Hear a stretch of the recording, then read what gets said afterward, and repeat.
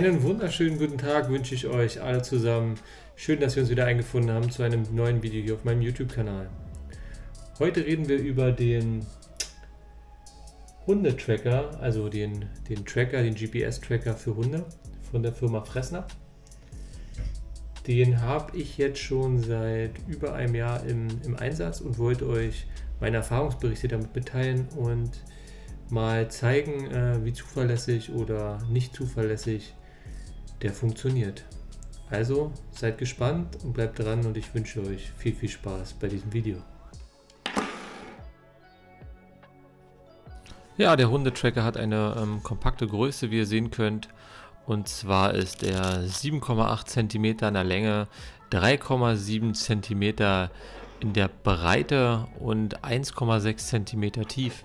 Und ähm, wie ihr hier schon gut erkennen könnt, der wird mit einem Klettverschluss um das Hundehalsband gelegt. Und das Klettband ist auch ausreichend breit, dass es auch für Hundehalsbänder mit breiteren Halsbandstegen geeignet ist.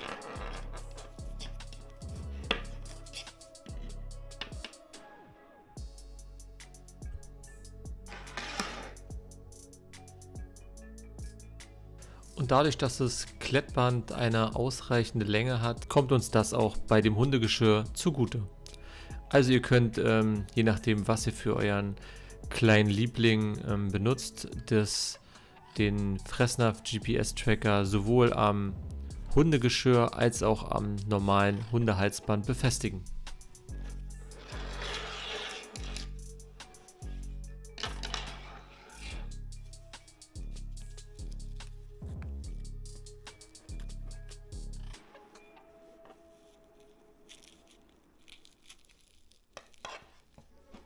Wie ich ja schon zuvor angemerkt habe, besitze ich nun den GPS-Tracker schon über ein Jahr und ähm, genauso oft wurde auch das Klettband schon benutzt und es hält immer noch fest und robust und ähm, ihr braucht keine Angst haben, dass der Tracker einfach so verloren geht.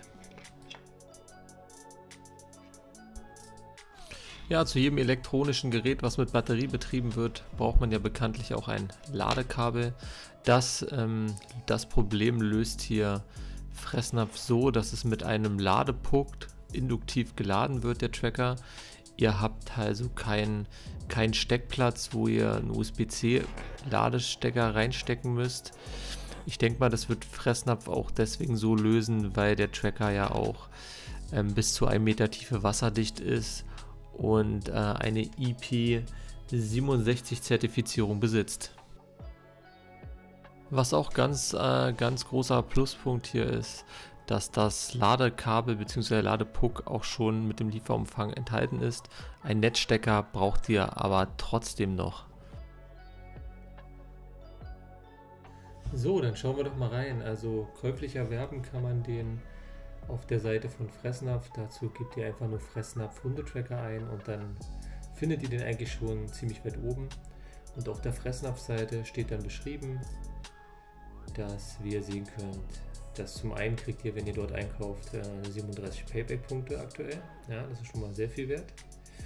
Und dann könnt ihr den in verschiedene Farben aussuchen. Das gab es damals bei mir nicht, als ich den geholt habe. Da war der noch ziemlich neu.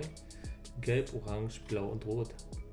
So, dann öffnen wir mal die Fressnapf-App von dem Hundetracker. Und hier kommen wir schon mal in das Interface.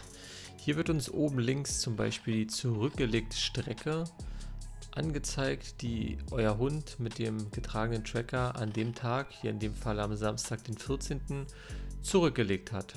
Dann habt ihr einmal die Dauer, wie lange das gedauert hat. Und unten könnt ihr bei Routen lang scrollen. Da wird euch alle Routen an dem Tag angezeigt, die ihr schon zurückgelegt habt. Und da seht ihr auch, das zeige ich euch gleich nochmal, grafisch ähm, wird es halt richtig dargestellt und getrackt, wo ihr und durch welche Straßen ihr lang gelaufen seid.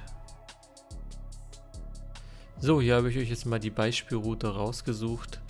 Da waren wir im Jungfernheideforst mit dem Hund und da seht ihr halt, ähm, wie der Tracker die Wegpunkte sozusagen aufgezeichnet hat. Wir sind vorne an der Straße, haben wir begonnen, sind dann weiter hinten eine Schlaufe gelaufen und dann den gleichen Weg wieder zurück die ganze Zeit hat eine Stunde 13 gedauert und waren 2,8 Kilometer.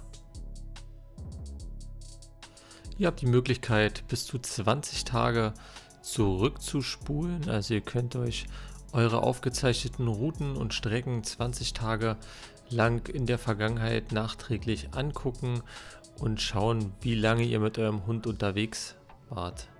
Das ist ein sehr gutes Feature, wie ich finde, weil so könnt ihr auch immer gucken oder kontrollieren, dass ihr auch wirklich eurem Hund lange genug an dem Tag Auslauf gewährt habt oder ihr probiert habt mit dem Hund äh, lang genug eure Gassi-Runden zu timen. In der unteren Leiste hier in der App könnt ihr noch sehen, ihr könnt einmal die direkte Ortung anwählen. Das heißt, wenn ihr darauf klickt, dann wird euch direkt der Standort vom Hund angezeigt. Dann die Aktivitäten, das ist das, worüber wir gerade gesprochen haben.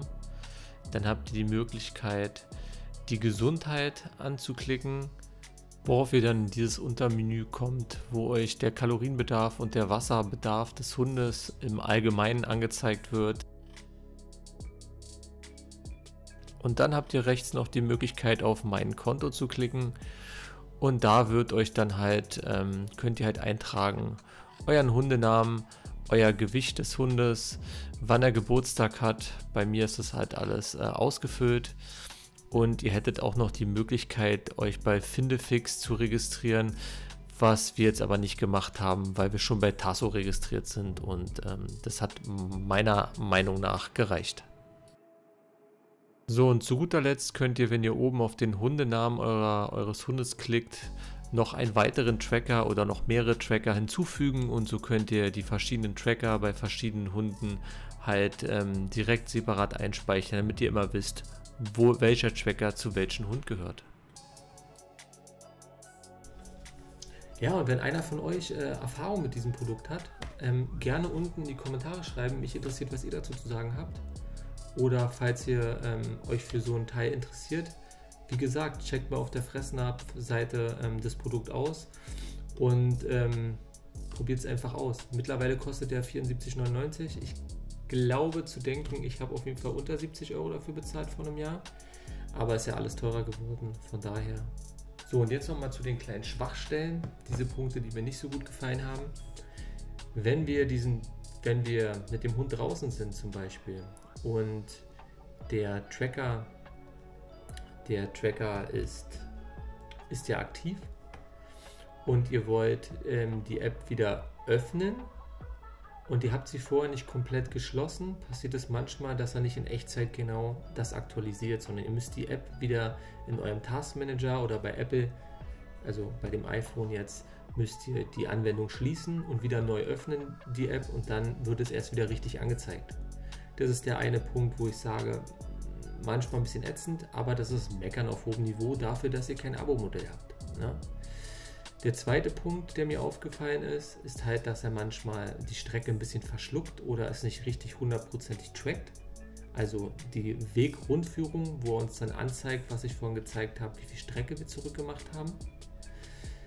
Das ist der zweite Punkt. Und der dritte Punkt, der mir seit ungefähr drei Monaten sehr stark eigentlich auf den Sack geht, ist, dass jedes Mal, wenn ich die Anmeldung starte, die ein Feedback von mir haben wollen, was ich aber nicht machen will. Und egal auf was ich drücke, leiten die mich weiter auf eine neue Seite. Schließe ich die Anwendung wieder, kommt das nächste Mal, wenn ich die App starte, aber wieder. Das heißt, eigentlich ist man dazu gezwungen, ein Feedback zu geben oder sich zumindest kurzzeitig damit zu beschäftigen, um dass es dann nicht mehr aufploppt. Also da würde ich mir eher wünschen, dass sie dass sie das so probieren, dass es wirklich auf freiwillige Basis ist und nicht jemanden so krass auf den Sack zu gehen mit diesem mit diesen scheiß Feedback. Ich verstehe, dass, dass die ein Feedback für ihr Produkt haben wollen, aber ich möchte das, egal wie das ist, selbst entscheiden, ob ich gerade Lust habe, ein Feedback zu geben oder nicht und nicht daran erinnert zu werden. Ähnlich wie bei Amazon, da kriege ich nach jeder Bestellung eine E-Mail, kann ich aber löschen und ansonsten juckt mich das nicht. Das würde ich mir auch wünschen. Ansonsten gibt es von mir für dieses Produkt einen ganz klaren Daumen nach oben, weil ähm, der Tracker funktioniert für unsere, meine Bedürfnisse sehr gut und auch für das Geld, was man dafür bezahlt hat. Genau, das war ein kleiner Einblick nach einem Jahr, ein kleines Preview nach dem Tracker. Wie gesagt, wir haben noch die erste Generation. Und ja, letztendlich müsst ihr entscheiden, ob ihr euch so einen so Tracker zulegt. Ich finde es sehr sinnvoll ähm, und äh, uns hat es auf jeden Fall Preis-Leistungs-Verhältnis gut getan. In diesem Sinne, bis zum nächsten Video.